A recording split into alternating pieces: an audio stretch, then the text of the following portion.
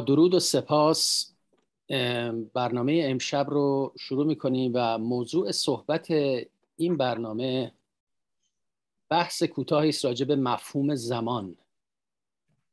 یعنی زمان واقعا چه معنایی داره چه نقشی در زندگی ما بازی می‌کنه و بالاخره یک نگاهی بندازیم به اشاراتی که در زمان به زمان شده در تفکر بهایی. به طور کلی زبان زمان یک مفهوم آشنایی برای همه ما. ساعت چند؟ ساعت هشت به سر کار میریم. یعنی تمام روز و تمام فعالیت های ما با اشاره به زمان و با در نظر گرفتن زمان شروع میشه. و در حقیقت ما محاصره شدیم با زمان و اندازی هایی که زمان برای ما مشخص می‌کنه. که به این ترتیب زندگی خودمون رو زندگی فردی و شخصی خودمون رو سازمان میدیم. در این حال زبان به یک مفهوم پیچیده هم هست. حتی دانشمندان و اونهایی که کارشون مطالعه علمی زمان هست چندان تعریف دقیقی نمی‌تونن ازش بکنن و طبیعتش رو نمی‌تونن بشناسن و در حقیقت مفهوم زمان در یک حاله ای از پیچیدگی و رمز و حتی دشواری در شناخت جامع و کامل قرار می‌گیره. ولی خب تجربه انسان برای ما شاید بدون تعریف زمان ولی ما هر روز همونطوری گفتم تجربهش می‌کنیم. روزها میان شبها می‌رسن. ما شاهد تغییر فصول سال هستیم و می‌بینیم که همه چیز همچنان در گذر است. ما زمان رو در فنای عالم می‌تونیم با تمام وجود حس بکنیم. به گذشته که مینگریم که در حقیقت به گذشته زمان هست زمان گذشته هست می‌بینیم که جز خاطره ها که در حافظه نقش بسته چیز دیگری نیست.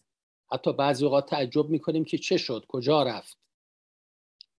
اون تجربیات اون لحظات اون صحنه ها و از خودمون می‌پرسیم چه شد که ما به اینجا اومدیم و اون روزها کجا رفتن؟ اون یاران و دوستان ما کجا رفتن؟ به یاد لحظات کوتاه و شیرینی میفتیم که در گذشته داشتیم و روزگار رو میگذراندیم و در عین اینکه در دوره جوانی تقریبا شاید بیخبر از این گذشت زمان بودیم اما مرور زمان با اون چهره سهرنگیز خودش یا با دستهای سهرنگیز خودش دفتر زندگی ما رو ورق می‌زد. زندگی پدران و مادران ما رو به تندی ورق زد و برد. و به قول یک نویسنده زمان مثل قارتگران شب همبستگی های ما رو به گسستگی کشاند و رفتگان رو در پرده های پنهان خود قرار داد. علاوه بر این تجربیاتی که ما در زندگی روزمره می‌کنیم زمان همواره از موضوعات اصلی بوده در فلسفه و علم و دین. یک تعریف کلی که از زمان شده یعنی اینکه یعنی زمان عبارت از این تغییرات هستی است. تغییرات وجوده که در بستر وقایع و حوادث روزمره زندگی رخ میده. لذا رابطه تغییر و تحول فراز و نشیب جوانی و پیری بهار و زمستان این تغییراتی که در حقیقت به ما کمک می‌کنه زمان رو درک بکنیم. و ارتباط نزدیکی با زمان برقرار کنیم. و همین جریان هست که در زندگی ما جلوه می‌کنه و ما از طریق اون گذشته رو به حال و حال رو به آینده ارتباط میدیم. لذا این تغییرات هست که به ما مفهوم زبان رو القا می‌کنه. لذا اگر جهان رو تغییر ناپذیر فرض کنیم قطعا زمان باز میمونه و حتی معنای خودش رو از دست میده. و اما بشر برای درک زمان مثل هر پدیده دیگری سعی کرده اون رو اندازگیری کنه. با ثانیه با دقیقه ساعت روز ماه سال. با به این وسایل میاد گذر زمان رو ثبت می‌کنه. شب و روز رو تعیین می‌کنه. و فصول سال رو در قالب یک تقویم قرار میده. و به این ترتیب با این اندازهگیری به زندگی خود سازمان میده. به طور کلی می‌تونیم بگیم که زمان عاملی است. حالا هر تعریفی که براش قائل بشیم که جهان خطی و این فضای سبعدی ما رو طول و عرض و ارتفاع رو تسلسل میبخشه. زنده می‌کنه و مثل زنجیره ای گذشته و حال و آینده رو پیوند می‌زنه.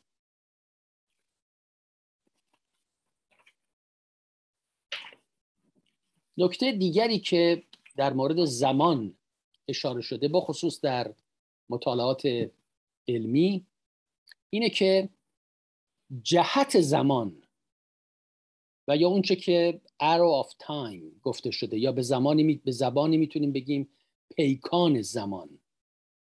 بخصوص در عالم مادی یعنی در این عالم که ما هستیم قرار داریم و تجربه می‌کنیم. جهتش به سمت آینده است. یعنی یک خط مستقیمیه که به سمت آینده در حال حرکته. و ظاهرا برگشت ناپذیره. اما هرچند که در داستانهای تخیلی مثل مثلا داستانهایی که اچ ولز نوشت و همطور در تئوری های جدید فیزیک این امکان مطرح شده که ما در طول زمان سفر کنیم.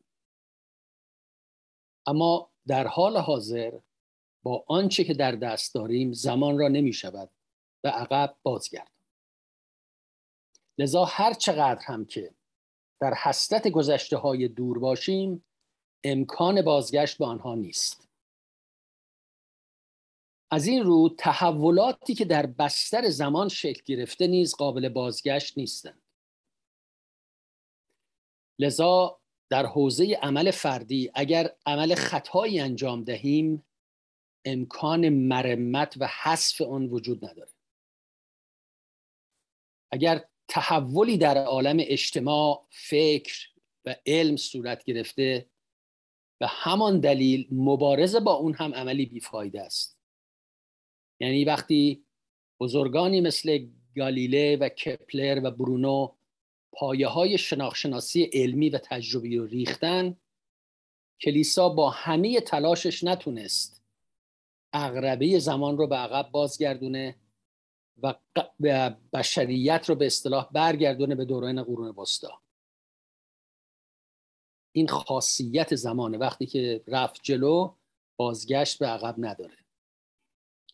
مثال دیگه که می‌تونیم بزنیم مثل نیروی برق هست. آیا میشه نیروی برق رو به عقب برد و انسان برگر برگرده به تاریکی؟ همانطور که علم و فن را نمیشه به عقب روند در حوزه علم و فن در به همون دلیل هم دستاوردهای آزادی انسان حقوق بشر عدالت اجتماعی. یعنی تمام این تحولاتی که در قرون اخیر رخ داده اینها را هم محاله به عقب بازگردوند و یا برد به تاریکخانه قرون وسطا. پس این هم یک اصل بسیار مهمیه که در مورد در ارتباط با درک زمان به صورت محسوس به ما نشون میده که تحولاتی که در بستر زمان شکل گرفته قابل بازگشت نیستن نکته دیگری که ما می‌تونیم بهش اشاره بکنیم که احساس و تصور انسان هم علاوه بر تفکر علاوه بر اندیشه احساس و تصور هم نقش مهمی در درک زمان داره. یعنی ساختار شیمیایی مغز درک و تصور ما رو از زمان تحت تاثیر خودش قرار میده. یعنی نه که زمان عوض میشه اما تأثیری که ما از اون می‌گیریم اون می‌تونه عوض بشه در اثر اون حالات و احساسات. مثلا اگر ما تنها و یا افسرده باشیم زمان به کندی میگذره. اما چون خوشحال و سرگرم باشیم زمان به تندی پرواز می‌کنه. افرادی که مسنتر هستن احساس می‌کنن که زمان با سرعت بیشتری میگذره. اینها همه نوعی تجربیاتی است که نشون میده چگونه تصور انسان ساختار شیمیاییش و اینها می‌تونه مفهوم زمان رو برای افراد مختلف تغییر بده. هرچند که زمان زمان در اصل خودش در ذات خودش یک مفهوم یونیورسال و کلی و عمومی است. علمای فیزیک معتقدند که زمان آغازی داشته است و حرکت زمان همچنان ادامه خواهد داشت. یعنی اگر جهان همینطور بست پیدا بکنه چون جهانی که ما داریم در حال بسته و منبسط بشه زمان هم با این انبساط به جلو میره و با انقباز جهان زمان هم به کندی و سکون رو میاره. البته در آینده دیدگاه یعنی این تصور من بر این است که بشریت دیدگاه های دقیق تری رو از مفهوم زمان و رابطه اون با مفاهیم روحانی با زندگی اجتماعی خواهد داشت. و این از یه زاویه باهایی اگر نگاه بکنیم به نظر من بنده تحقیقاتی که در حوزه علم میشه بخصوص در علم فیزیک و اصولا شناخت بهتری که انسان از واقعیت هستی هم از واقعیت وجود خودش و هم از واقعیت هستی پیدا می‌کنه. و بالاخره اون اصل اساسی آین بهایی یعنی توافق علم و دین اینها همه فاکتورهایی هستند معلفه هایی هستند که در آینده درک ما رو از زمان و رابطه ما رو با زمان در یک سطح بالاتری خواهد برد به یک بلوغ بیشتری خواهد رسوند. و ما در آین بهایی اشاره به زمان به صور مختلف شده. خیلی اوقات مستقیم و خیلی اوقات غیر مستقیم. یعنی به صورت از یه زاویه نگاه شده که در اصل زمان رو اساس قرار داده ولی در صحبتی از زمان در اون بحث نیست. ولی اساس کار بر تحول و دگرگونی منبعث از حرکت زمان است. مثلا یکی از مباحثی که در آینه باهایی بحث شده مفهوم زم... مفاهیمی است مثل قدیم و حادث یعنی که آیا جهان قدیمه و یا جهان حادثه. خب این البته بحث بسیار مفصلی است. عبدالبها در مفاوضات این رو به دقت مورد بحث قرار دادن. و همچنین در آثار دیگه در مجلدات ماعده آسمانی اشارات متعددی به این هست.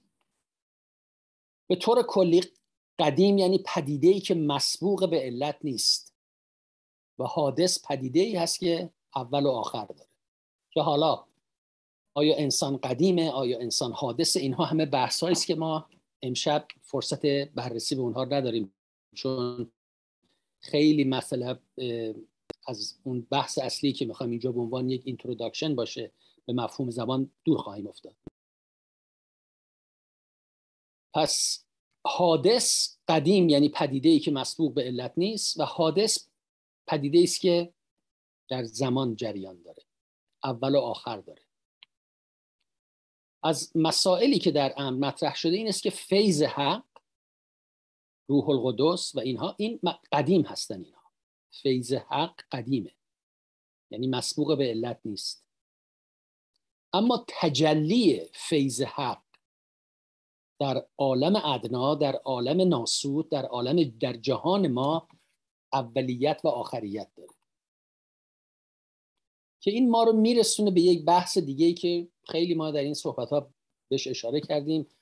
شما ایزن به کاملا به اون واقف هستیم و اون مفهوم ظهورات متتابعی ادیان که در حقیقت یکی از اصول اساس اندیشه بهایی هست. یعنی این ظهورات متتابعه. اینها در حقیقت همون تجلیات اون مفهوم قدیم هستند که در بستر جهان ظاهر شدن در بستر فرهنگ در بستر تمدن در بستر تاریخ لذا اولیت و آخریت پیدا کردن.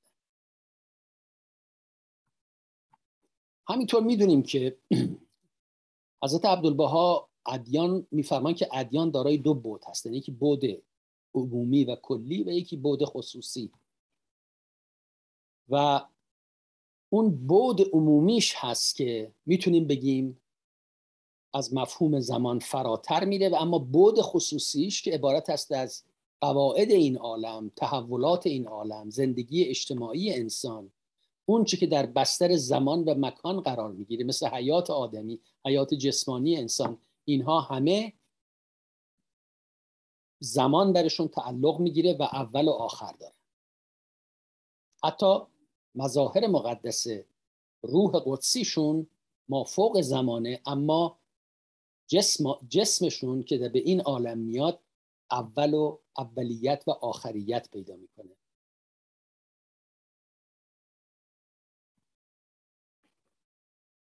نکته دیگری که در آثار بهایی هست و خیلی مهمه و لازم هست بهش یک اشاره بشه در ارتباط با این بحث زمان و اون مفهوم رجعت هست. یعنی عود بازگشت. گفتیم که حیات در خط مستقیم ادامه داره. یعنی خط مستقیم زمان قرار داره. بازگشت به عقب امکان پذیر نیست.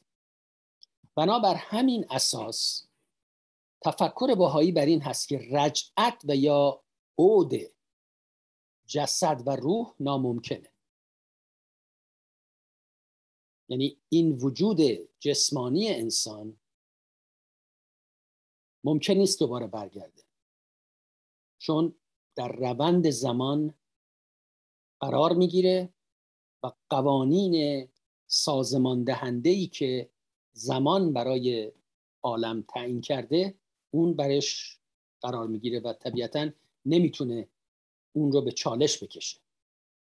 اما در آثار بهایی اشاره به رجعت هم شده به معنای بازگشت صفات. یعنی مثلا حضرت عبدالبها در یک مثال میفرمایند که این گلی که امسال در اومده این همون گل پارسال از نظر صفات اما نه اینکه این عینا همون گل هست بعد مثال های دیگری می‌زنه. و این ما رو میرسونه به بحث دیگه و اون اشاراتی که حضرت عبدالبها فی مثال در مورد فصول سال انجام میدن. میفرمایند که خب این عالم همین همینطور که فصول سال در گذر هست و از بهار به تابستان و تابستان به پاییز و زمستان منجر میشه و زمستان زمینه رو فراهم می‌کنه برای ظهور دوباره بهار. این به این معنا نیست که همون بهار سال قبل بازگشته بلکه اون صفات بهار صفات کلیش دوباره بازگشته. اون, اون هوا اون تازگی اون تمام اون تحولاتی که با بهار به وجود میاد این رجعت می‌کنه یعنی رجعت صف... صفات است و لذا وقتی صحبت از رجعت میشه در حقیقت انعکاس صفات در عالم وجود در طبیعت در نظام هستی که ما الان درش قرار داریم. اما در ادیان گذشته اینطور نبوده. ببینید رجعت یعنی همون رجعت فرد. با همون مشخصات مثل رجعت قائم موعود. که غیب رفت از غیبت صغرا کبرا کرد و الان هم زنده است در جایی و در موقعیت و شرایط خاصی دوباره برمیگرده. همون آدم. یعنی همون فرزند فرض بکنیم امام حسن عسکری. و یا مسیح. رجعت مسیح یعنی همون مسیحی که از قبر رستاخیز کرد و بلند شد و رفت به آسمان با همین وجود جسمانی با همون وجود جسمانیش برمیگرده تا دوباره سلطنت هزار ساله خودش رو بر کره ارز مستقر بکنه.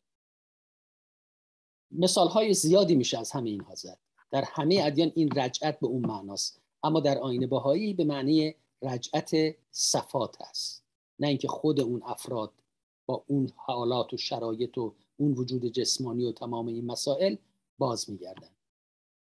انعکاس صفات در وجود دیگر. و این یکی از مباحث بسیار مهم و اساسی در تفکر بهایی.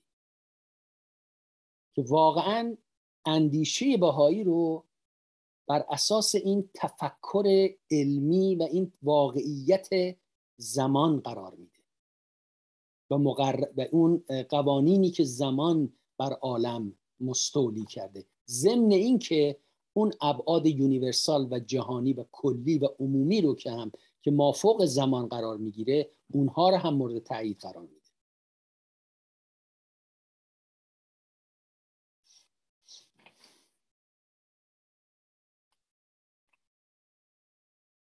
لذا ما می‌تونیم بگیم که رجعت همونطور که اشاره شد عبارت است از انعکاس صفات الهی در بستر حرکت و تحولات تاریخ. خب البته اینجا وقتی ما داریم صحبت از تاریخ می‌کنیم باید دقت بکنیم که یک گونه تاریخ ما داریم مثلا کازمیک هیستوری یعنی تاریخ جهان تاریخ کهکشان ها تمام تاریخ یونیورس که اون خودش یک تاریخی داره که اون در علوم فیزیکی مورد بحث قرار می‌گیره. بعد ما تاریخ طبیعی رو داریم. یعنی از لحظه ای که حیات حیات در کره ارز پیدا شد و تمام مراحلی که منجر شد به ظهور انسان. و بعد تاریخ اجتماعی داریم. که از اون زمانی است که انسان شروع کرد به تفکر شروع کرد به ایجاد تمدن و اینها به نوعی در در این بستر تاریخ ثبت شدن به یک شکل و صورتی. از اون زمان هست که اون وقت تاریخ مدون یا تاریخ کلا تاریخ حیات اجتماعی انسان به وجود اومد.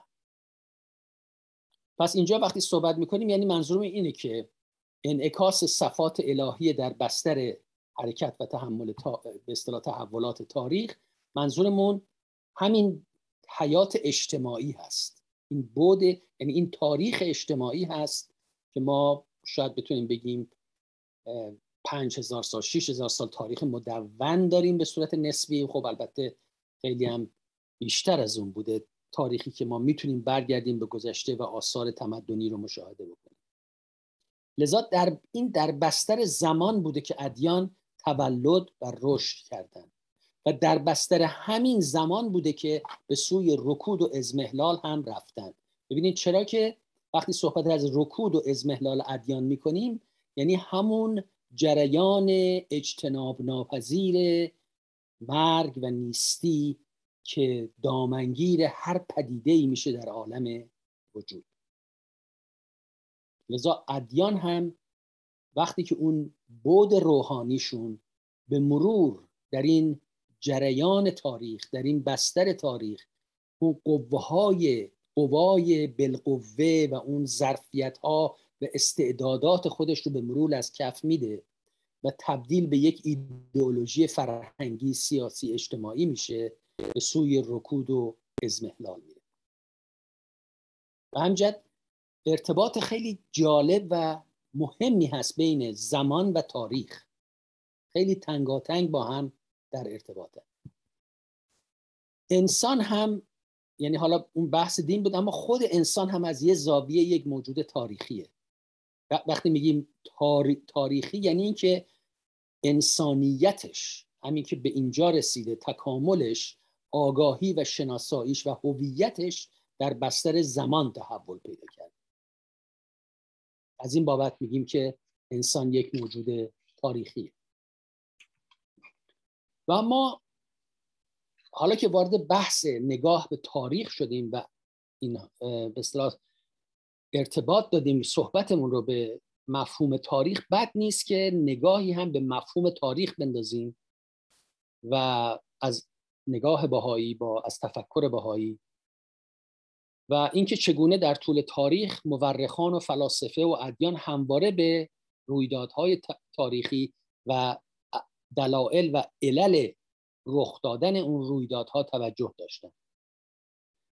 یعنی تقریبا می‌تونیم بگیم که تا تا قرن 19 مطالعه تاریخ همواره ملازم شناختی بود از فلسفه تاریخ.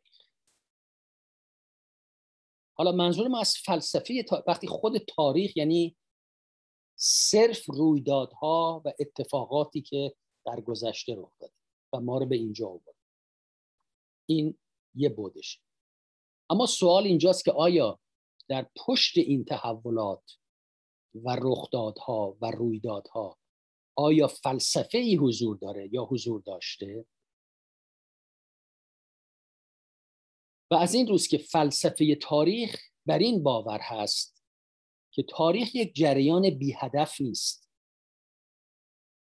که در اون رویدادها و این اتفاقات به صورت پراکنده رخ بده.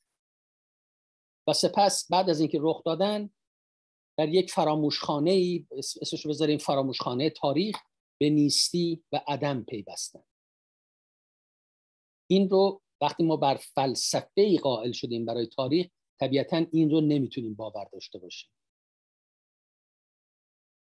فلسفه تاریخ بر اون هست که میان حوادث گذشته اتفاقات و رویدادهای گذشته یک رابطه ای بوده بین این رواب بین این اتفاقات بین این رویدادها. و هدف اینه که جستجو بکنیم که آیا جهت و مقصودی کلی و عمومی تاریخ رو به جلو روند. این اینجاست که اون وقت ما صحبت از فلسفه تاریخ می‌کنیم. که ببینیم چه عواملی در پشت این تاریخ بوده که این رویدادها رو میشه در کنار هم گذاشت و به اونها یک معنا و ارزش خاصی داد. برخی از فلاسفه گفتن که یک هدف و قایت اخلاقی بر حرکت تاریخ حاکم بوده. یعنی در حقیقت اون ارزش های اخلاقی بوده که تاریخ رو یا تضادهای تاریخ رو به جلو رو اما نکته هم که به صحبت ما رب پیدا می‌کنه اینه که ادیان و بخصوص دیانت بهایی به فلسفه تاریخ معطوف بودن نظر داشتن.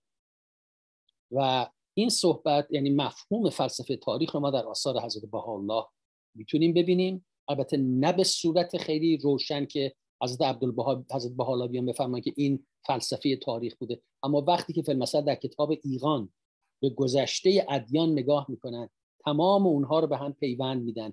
تا به امروز و از اون درس می‌گیرن برای آینده این در حقیقت اشاره به فلسفه تاریخ.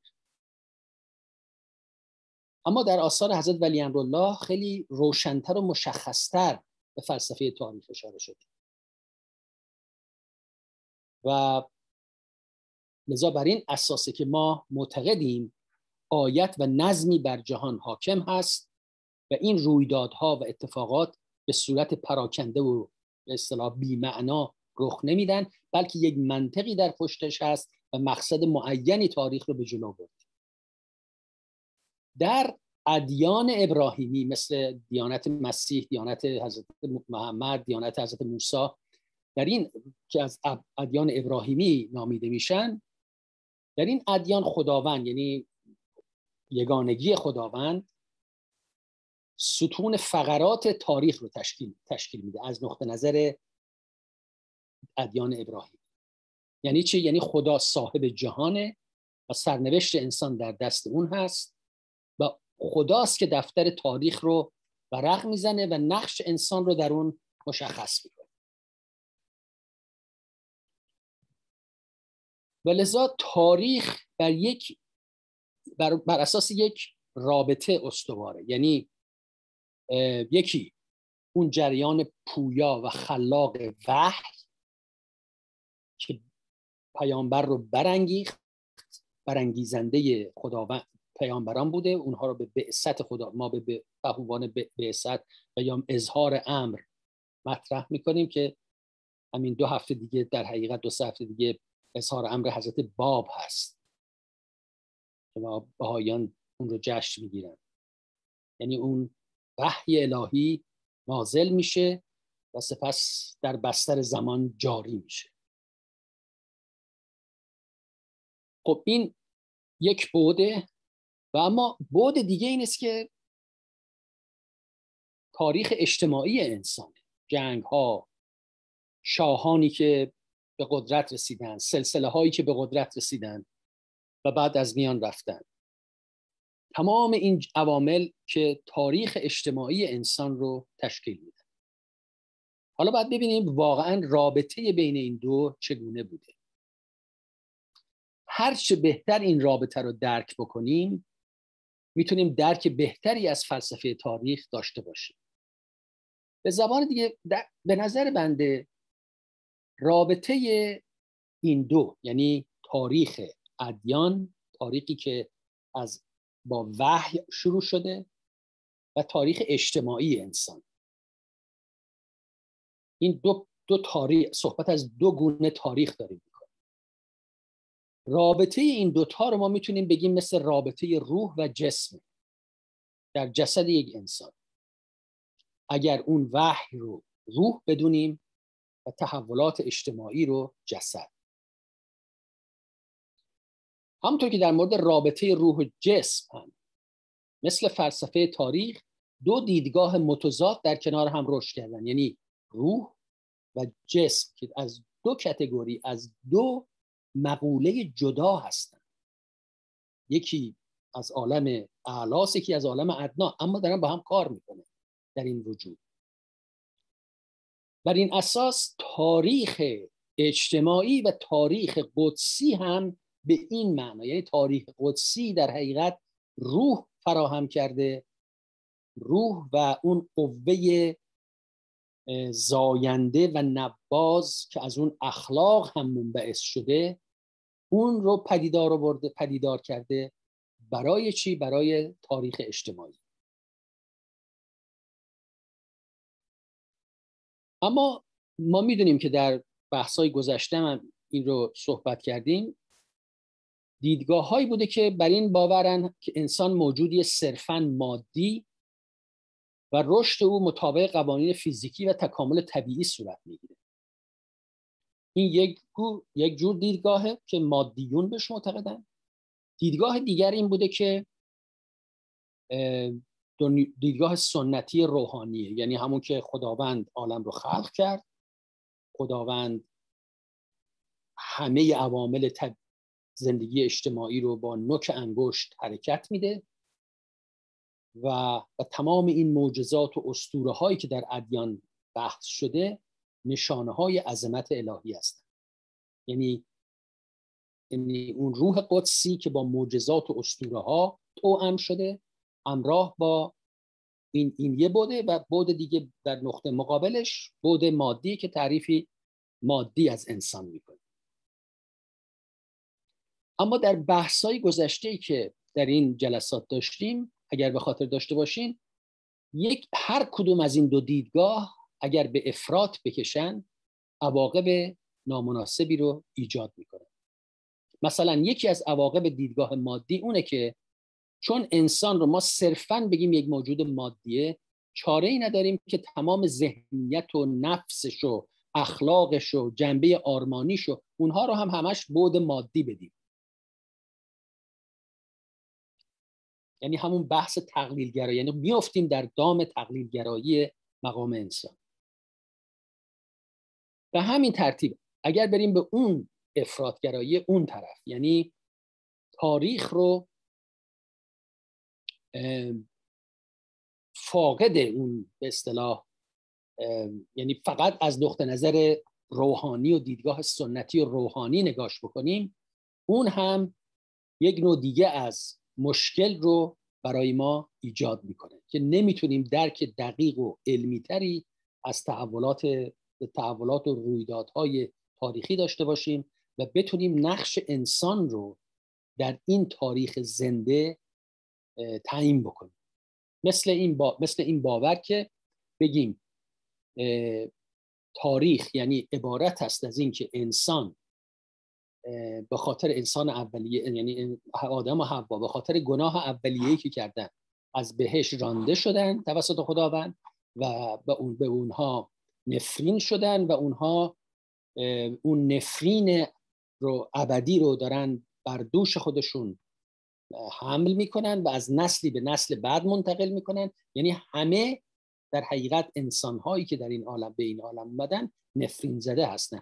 و فقط وجود مسیح بود که لحظاتی امکان رستگاری و نجات رو فراهم آورد و اگر باور به اون نباشه هیچ گونه حرکتی حتی حرکت بهترین اندیشه های انسانی بهترین افکار انسانی بهترین رفتار و اخلاق انسانی هم باعث رستگاری انسان نخواهد شد. چرا که فقط گریس و اون خونی است که مسیح ریخت و با خون خودش گناهان انسانها رو شست. لذا باور به اونه که فقط انسان رو نجات میده. پس اینم میشه یه بود افراطی دیگه از نگاه سنتی مذهبی تاریخ. که تاریخ یعنی صرفا اون لولای تاریخ یعنی مسیح که همه چیز به دور اون میگرد در این جریان موسی ایسا، بودا کریشنا تمام این ادیان دیگه عالم هم کتگوری های خاص خودشون رو دارن و به نوعی همون نفرین رو دارن اون نفرین ابدی رو هم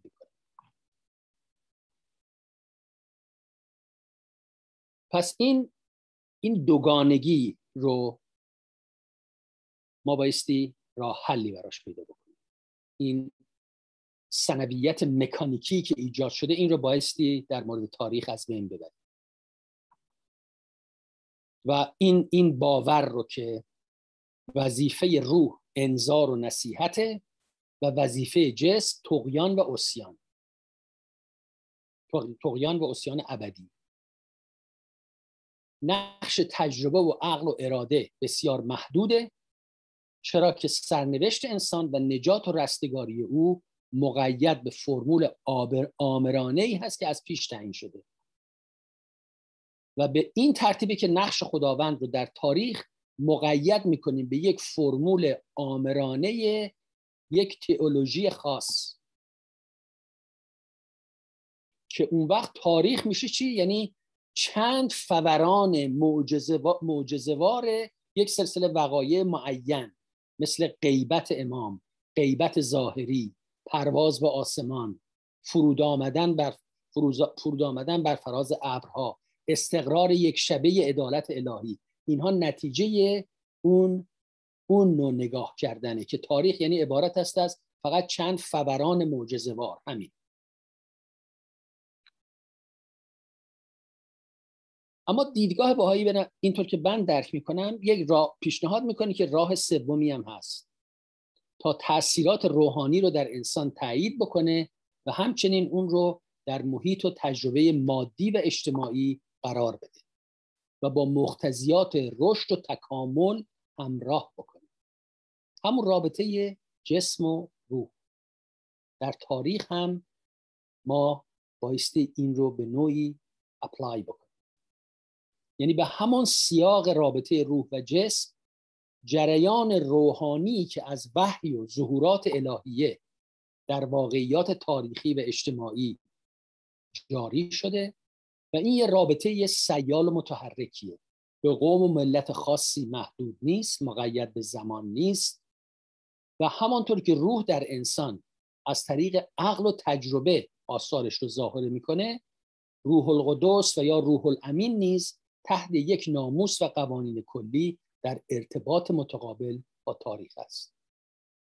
این تاریخ تاریخ معجزات یعنی آنچه ناموس طبیعت و عقل رو در هم بشکنه نخواهد. آنچه از نظر تاریخی یعنی تاریخ علمی قابل اعتباره نشانه ها و آثار تمدنی است که این ادیان به وجود آوردن. نشانه ها و آثاری است که وحی یعنی اون جریان وحی در عقل و تجربه انسان القا کرده.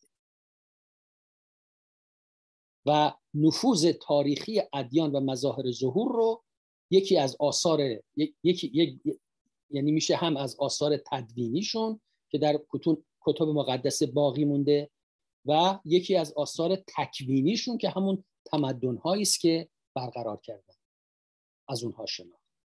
لذا این نگاه باهایی هست به مفهوم فلسفه تاریخ در از نظر اینکه بیایم این دو بود رو به هم نزدیک بکنیم و در حقیقت یک اساس فکری تازه ای رو در مورد تاریخ تاریخ و فلسفه تاریخ گذاری بکنیم. نکته آخری که ما می‌خواستیم بشه حال بکنیم در مورد مفهوم زمان این بود که خب گفتیم تاریخ یک حرکت مستقیمی است. ببخشید زمان یک خط مستقیمی است که به جلو میره و خب نمیشه به عقب بازگشت نمیشه اون چیز اون چرا که به وجود آمده از بین برد. بگیم یعنی به مرحله برسونیم که اصلا به هیچ وجه به وجود نیامده. اون امکان پذیر نیست. خب حالا سوال اینجا پیش میش این پیش میاد که بخصوص با یک نگاه باهایی اگر اون رو هم بهش اضافه بکنیم ما چطوری می‌تونیم آینده رو بسازیم؟ اگر زمان این خاصیت رو داره چطوری ما می‌تونیم آینده رو بسازیم؟ البته این بحث بسیار دوباره بگم خیلی پیچیده است دارای ابعاد متعددی هست. فقط در اینجا بنده اشاره می‌کنم که امکان در آثار باهایی یک نگاهی هست که یعنی بر یعنی ما معتقدیم که همطور گفتیم زمان به عقب باز نمیگرده اما انسان به خاطر اون آزادی و اراده ای که به انسان داده شده انسان می‌تونه بر آینده رو بسازه. یعنی به این صورت نیست که اون آینده مثل همون دیدگاه های رجعت ظاهری که گفتیم از قبل مشخص شد. همه چیز نوشته شد. در امر باهایی این دیدگاه هست که با وجود اینکه اراده الهی در کار هست و جهان به جلو میره و زمان یک حرکت پیشرونده است با با این وجود انسان می‌تونه در بستر همین زمان تاریخ دیگری رو ورق بزنه.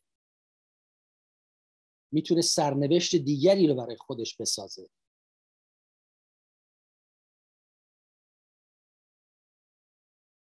و از این روز که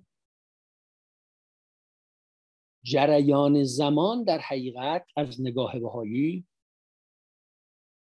و پیشرفت انسان در بستر زمان یک واقعیتی است که هرچند گذشته تغییر ناپذیری هست پشتش یعنی گذشته ثابت و تغییر ناپذیری هست و نمیشه خط زمان رو به عقب روند اما آینده تا حدی نامشخصه. و نه تنها نامشخصه بلکه باز و سیاله. یعنی می‌تونه شکل بگیره و بسته نیست. یعنی با محیط در ارتباطه. یعنی می‌تونه یک مثل یک موجود زنده ای که دائم در باز هست مثل یک سیستم بسته نیست مثل یک سیستم بازه و در این حال سیاله جامد نیست خشک نیست. لذا آینده رو می‌تونیم به این صورت مشخص بکنیم که هرچند گذشته ثابت و تغییر ناپذیر بوده اما آینده تا حدی به صورت قطعی هم نمی‌تونیم بگیم صد درصد صورت کامل. اما تا حدی نامشخص باز و سیاله و این خودش فضایی رو به وجود میاره از نگاه فلسفی و حتی از نگاه علمی که انسان بتونه تاریخ آینده رو رقم بزنه. و در اون که در آینده رخ میده در حقیقت یک رول اساسی داشته باشه. با آزادی خودش و با اراده خودش. پس این هم یک نکته دیگه ای بود که بنده خواستم در مورد مفهوم زمان اشاره بکنم که هرچند یک جریانی است که پیکان زمان ارو تایم در حال حرکت به جلو است اما در این حال میشه آینده رو به نحوی ساخت که ساخت آینده بتونه تاثیر بگذاره بر اون چی که در گذشته رخ داده. و احیانا اگر در گذشته اشتباهی بوده نه اینکه اشتباه رو از بین ببره اما تاثیراتش رو کمتر بکنه. تاثیرات عواقب منفیش رو کمتر بکنه. حالا در ارتباط با همین من دوست داشتم صحبت رو اینجوری تموم بکنیم که در آثار بهایی بسیار بسیار چه در آثار حضرت بها چه در آثار حضرت عبدالبها اشاره شده به گذشت زمان. البته این گذشت زمان گفتم یک ب... یه سلسلهش اشاره است به حرکت تاریخ اشاره است به تحول ادیان طبیعت فصول سال یعنی اون حرکت دوری. اما قسمت اعظم اشاره به گذشت زمان در حقیقت اشاره هست به دو نکته. یکی اینکه در حقیقت راه حل زندگی رو یعنی راه حل زندگی عملی چه هست؟ یعنی می‌خوان به انسان یادآوری بکنن که به خاطر گذشت زمان و عواقبی که گذشت زمان برای هر فردی داره مثل مثل پیری مثل ضعف مثل مرگ. که گذشت زمان سبب حسرت و افسوس و پشیمانی نشه. این یک بعد اساسی هست در آثار. به صور مختلف در مناجات ها در الوا تکرار شده. و به انسان پند میدن که از حرکت زمان درس بگیره. حتما اون رو شنیدین که مضمونش اینه که حضرت بالا میفرمان همین رفتن اب پدر گویای اون هست که تو هم خواهی رفت. پس انسان باید پند بگیر یعنی تمام این گذشته زمان رو و تمام تحولاتی که در اثر گذشته زمان رخ میده بهترین درس می‌دونن برای انسان. و یکی از دلایل مهمی که من این صحبت رو انتخاب کردم در حقیقت این مطلب بود که چگونه زمان و مفهوم زمان در آین بهایی یک مفهوم بسیار عمیق روحانی و اخلاقی پیدا می‌کنه. که البته در همه ادیان کم و بیش حضور داشته. فلاسفه هم به همین اشاره کردن قطعا.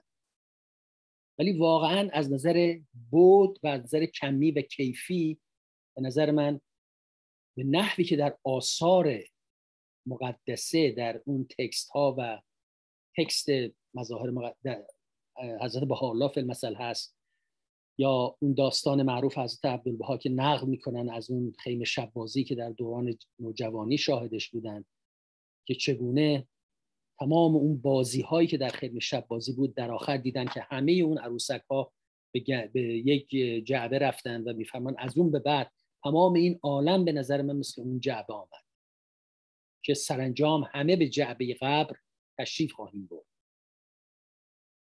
یعنی این پند خیلی عظیمی در آثار امری هست در ارتباط با گذشت زمان و چگونه با گذر زمان بهترین پند برای زندگانی انسان. یک بیان دیگه هست مشهور همه شنیدیم از حضرت الله که عمرها چون برق میگذرد و فرقها بر بستر تراب مغر گیرد. چاره از دست رود و امورش شست. و در جای دیگه اشاره می‌کنن چه شبها که رفت و چه روزها که گذشت و چه وقتها که به آخر رسید. و چه ساعتها که به انتها آمد. و جز به اشتغال دنیای فانی نفسی بر نیامد. سعی نمایی تا این چند نفس که باقی مانده باطل نشود. بسیار بسیار راجع به این مطالب هست. نکته دومی که در مورد گذشت زمان بهش خیلی اشاره شده گذر زمان این است که انسان بایستی حالا منها این که بخواد زندگی خودش رو تغییر بده بخواد این چند نفسی که باقی مونده اون رو خدمت انسان بپردازه و اینها منهای اون به نظر من یه نکته دیگه هم که خیلی تاکید شده درس عدالت و انصاف از تاریخ گرفتن از گذر زمان هست. و در برمیگرده به همون ناپایداری مال و منال قدرت و اعتبار شهرت و نام. اینها این یعنی اشارات متعددی هست که ما می‌بینیم به چشم که چگونه سلطنت ها برباد رفته امپراتوری ها برباد رفته. و از همه اون عظمت ها غرورها تکبرها قتل و غارت ها هیچ اثری باقی نمونده. جز اونهایی که خدمتی کردن به نام نیکی باقی گذاشتن. شاهان همه رفتن. همه اونهایی که همه اونها مثلا حضرت عبدالبای داستانی رو نقل می‌کنن در مورد اسکندر که وقتی در لحظات آخر در بستر مرگ بود. یعنی واقعا چیز شده بود که آیا چگونه اون همه عظمت اون همه فرمان روایی چه شد؟ البته خیلی مفصل این رو شهر میده در حال اشاره به همینه که واقعا به نظر من یکی از بهترین درس هایی که سران عالم بزرگان عالم اونهایی که امور عالم رو در دست دارن بایستی درس بگیرن از این مفهوم گذر زمان همین هست که این زود گذره نه تنها زود گذره با یک اشاره از بین میره. و بعد از اینکه از بین رفت در فرصت بسیار کوتاهی شاید یک نسل یا دو نسل بیشتر طول نکشه که همه فراموش بکنن که چه, چه افرادی بودن و چه افرادی چه کارها کردند و تمامی یعنی وقتی که اینا معتقد شدن با یعنی وجود این مطلب رو این حقیقت رو در حیات درک کردن به نظر بنده یکی از مهمترین ارزش ها رو به انسان میده که اون بالانس رو در زندگی خودش ایجاد بکنه. اون مناعت تب اون صبر اون تمام این فضیلت هایی که ذکر شده وقتی با نگاه به گذشت زمان نگاه بشه یا ارزیابی بشه تمامشون یک معنی دیگه پیدا می‌کنن. راستی درستی انسانیت عدالت. تمام اینها رو وقتی ما از لنز گذر زمان نگاه می‌کنیم ماهیتشون عوض میشه و اهمیتشون تا مرحله بسیار بالایی ما شاهدش میشیم. این در حقیقت مطلب آخری بود که من خواستم اینجا ذکر بکنم ولی بعد از اینکه به این مطلب رسیدن یاد این شعر معروف خاقانی افتادم که در حقیقت همین بحث آخر ما رو اینجا به نحو احسن خاقانی شهر میده. میگه هان ای دل عبرت بین از دیده نظر کن هان ایوان مدائن را آینه عبرت دان. یک ره ز لب دجله منزل به مدائن کن و از دیده دوم دجله بر خاک مدائن را. دندانه هر قصری پندی دهدد نو نو. پند سر دندانه بشنو ز بن دندان. گوید که تو از خاکی ما خاک تویی مکنون گامی دو سه برمانه اشکی دو سه هم بفشان. از نوحه جغدالحق ما این به درد سر از دیده گلابی کن درد سر ما بنشان. آری چه عجب داری؟ کن در چمن گیتی جغد است پی بلبل نوحه است پی الهان و این دیگه اینجا شاهکار می‌کنه. میگه ما بارگه دادی. این رفت ستم بر ما. بر قصر ستمکاران تا خود چه رسد؟ خزلان با تشکر.